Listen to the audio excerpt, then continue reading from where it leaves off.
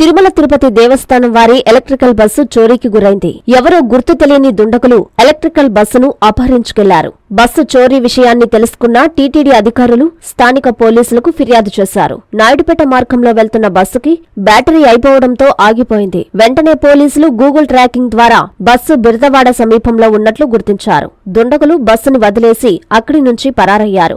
ఘటనా స్థలానికి చేరుకున్న నాయుడుపేట సీఐలు సోమయ్య నరసింహులు శ్రీవారి ఎలక్ట్రికల్ బస్సును స్వాధీనం చేసుకుని టీటీడీ అధికారులకు అప్పగించారు. పోలీసులు కేసు నమోదు చేసి దర్యాప్తు చేస్తున్నారు.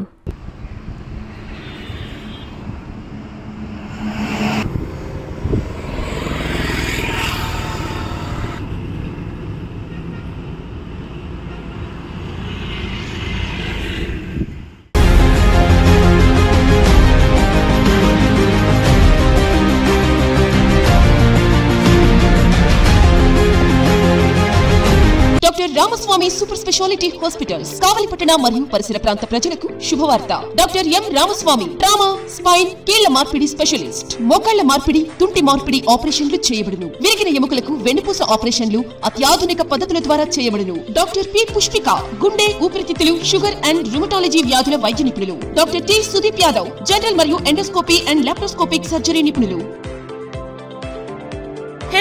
పేగు జారుట ఇరవై నాలుగు గంటల పేగు హైడ్రోసెల్ ఆపరేషన్లు చేయబడును. వెంటిలేటర్తో కూడిన అధునాతన intensive care unit ICU doctor YSR Aarogyasri పథకం ద్వారా అర్హులైన వారికి ఉచితంగా ఆపరేషన్లు చేయబడును. Doctor Ramaswamy super speciality hospitals Vishnulayam వీధి కావలి.